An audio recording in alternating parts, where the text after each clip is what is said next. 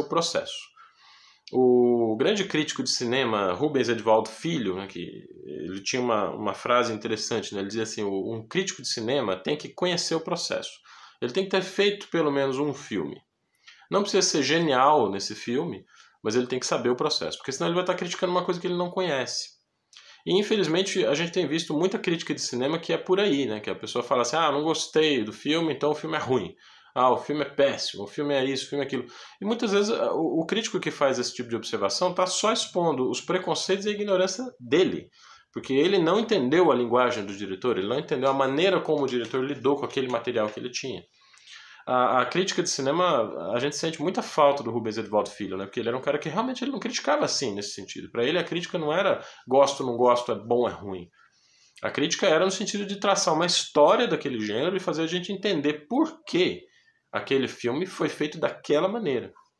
E aí a gente tinha a licença, quer dizer, o leitor tinha a licença dele de gostar ou não gostar, né? a, a, o espectador não é obrigado a gostar de uma determinada obra de arte, mas ele é obrigado sim a compreender e respeitar.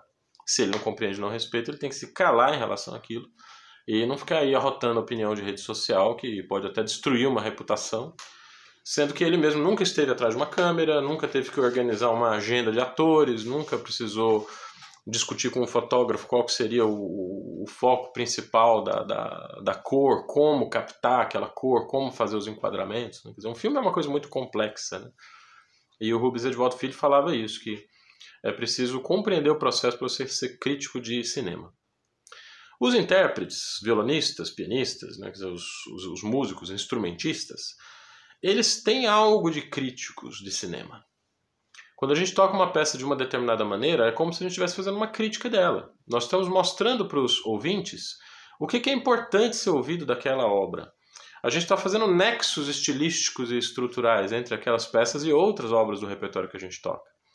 Como que a gente vai fazer uma leitura legal da peça, vai representar essa obra num concerto de maneira satisfatória, de maneira convincente, se a gente não conhece o processo da composição? Parece uma coisa muito óbvia, na verdade, né? Eu tentei fazer esse dever de casa, eu fiz aula de composição com o Dr. Estércio Marques Cunha, que é um professor fantástico de Goiânia, que é um sujeito, uma alma maravilhosa, um sujeito incrível e um professor excelente, foi um dos primeiros doutores em música do Brasil. Ele fez o doutorado dele nos Estados Unidos a respeito da Sétima Sinfonia de Beethoven. E é um compositor de métier, ele sabe a, a, técnica. Às vezes as pessoas podem não gostar muito da música dele porque ela é moderna demais, mas aí é que entra a questão da compreensão do processo. Por que, que o Stercio escreve moderno demais? Quando a gente começa a estudar o processo de composição, a gente entende e gosta.